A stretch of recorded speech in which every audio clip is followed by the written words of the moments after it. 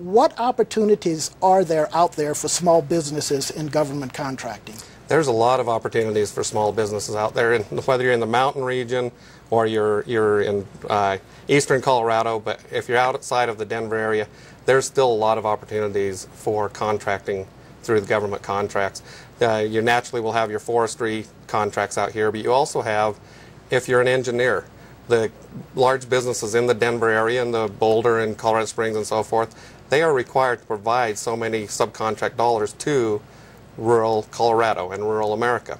As part of this, they may be looking for a small engineering firm in Aspen or Glenwood Springs or somewhere so you would be able to go after engineering. Or they may be looking for somebody to pro provide office supplies or reproduction. But in any aspect of government business, you have that opportunity in the rural towns of Colorado. Okay, great. So why should small businesses seek government contracts? Oh, it's, it's, there's two strong reasons why they should seek government contracts. Number one, you don't have the ups or the peaks and valleys of the funding.